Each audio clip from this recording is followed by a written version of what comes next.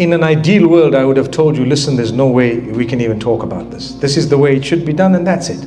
But we're not living in an ideal world. So I can tell you, congratulations for considering wearing the hijab as soon as you can. You're still quite young. You're still dependent on your folks. Am I right? It's wrong for me to just tell you, leave them when you're just going to be on the street, make it worse. Some people will tell you that. Leave them, quit them, don't worry, Allah will provide. Hang on. It's a right answer with the wrong situation. So, for me to tell you, well done, whatever you're doing to me is probably the best given your circumstance, which I'm not in and no one is in. So if you're telling me I put on the hijab as soon as I can, when I get home, you know, I can't wear the hijab, leave home, can't, well, those are your mahrams anyway, those are the people within your home anyway. So there is an element of inability perhaps in the, in, in you know, where it doesn't overlap. There is an element of inability. Allah knows your struggle more than anyone else. I know born Muslims who don't even wear the hijab. It's no justification, but they might have their own struggles.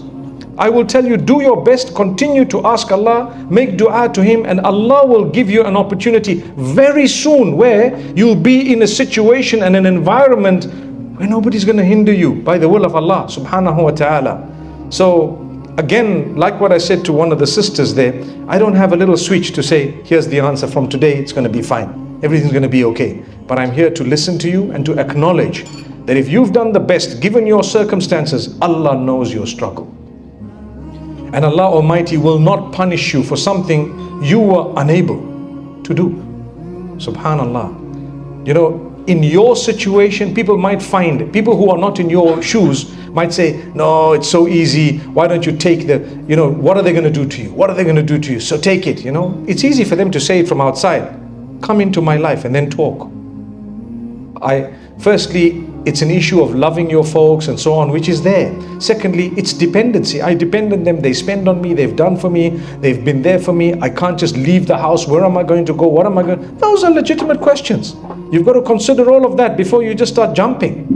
But for as long as in your heart you know that inshallah, you know, as soon as I have, have this opportunity, I always make the most of it. May Allah make your struggles easy and may Allah make the same, uh, meaning create ease for everyone who's going through struggles. Ameen.